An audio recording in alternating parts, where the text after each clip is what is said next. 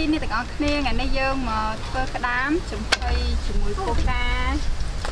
ក្តាមយើងមានចំនួន2គីឡូ1 2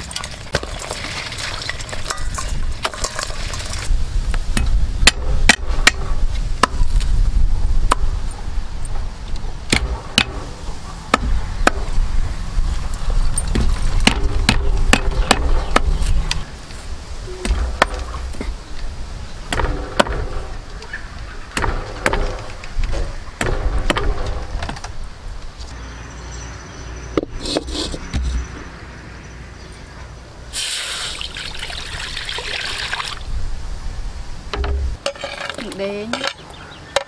កលក្រៃស្លឹកក្រូចសើច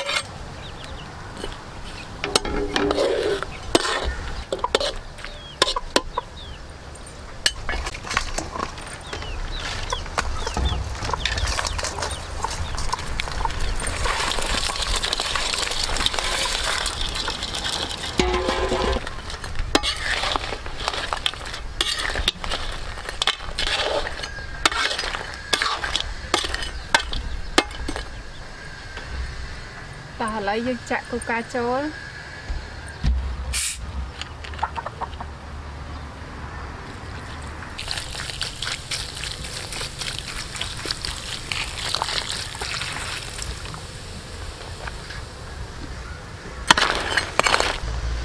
អំបិលប៊ីចេងរ៉តឌី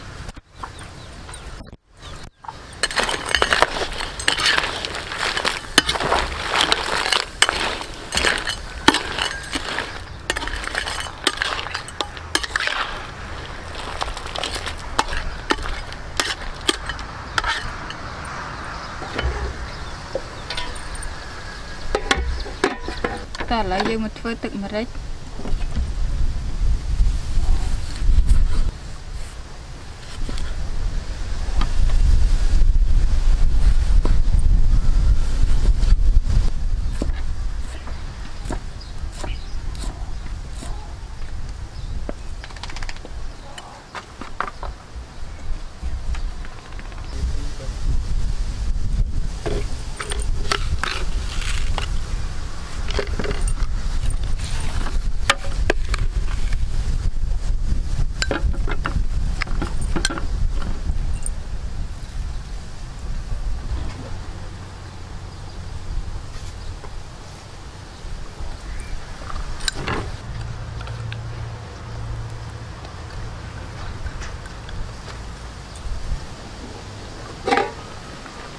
ឥឡូវក្តាមយើងឆ្អិនហើយហើយ